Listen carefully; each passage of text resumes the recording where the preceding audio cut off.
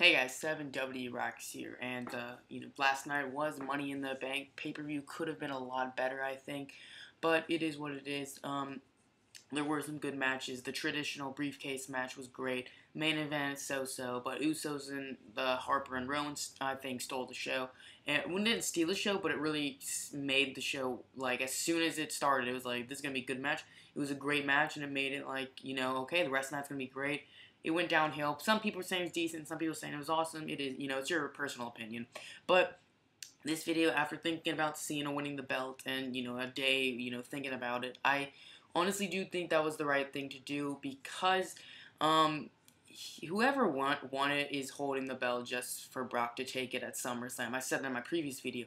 So if you, you know, giving it to Cesaro or like Roman Reigns or Bray Wyatt, yes, that is really making their character and that's doing something different and giving a young guy the chance to really shine.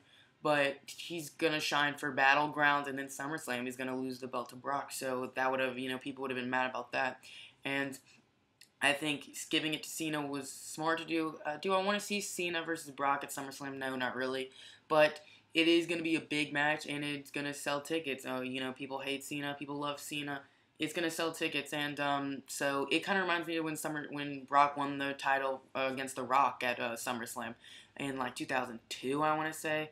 That might be two. I don't know. That might be wrong. Sorry, but um, correct me if I am wrong. But um, yeah, uh, I feel like it's going to be a big main event. I feel like SummerSlam is going to be a great event, but yeah, it seems like Cena's just holding the title for Brock. You know, Seth Rollins isn't going to cash in on Cena. If he does, he's losing.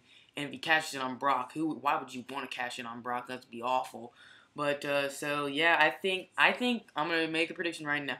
When Rollins does cash in, I think Reigns is gonna be the WWE champion at that time. I could go with Daniel Bryan, but I think Reigns will be WWE champion when Rollins cashes in. So Thanks for watching. Let me know what you guys think about the subject. I'm excited for Raw tonight. I think the Usos will have a rematch with Luke Harper and Eric Rowan and lose the championships. I feel like the Usos title run is going to end tonight. I know a lot of people are saying that, and it, I think it is true. So uh, that match isn't official, so don't you know take my word for it. But yeah, like, comment, subscribe, all that good stuff. Follow me on Twitter at 7WRocks. And uh, just thanks for watching. And as always, have a nice day. Thank you guys.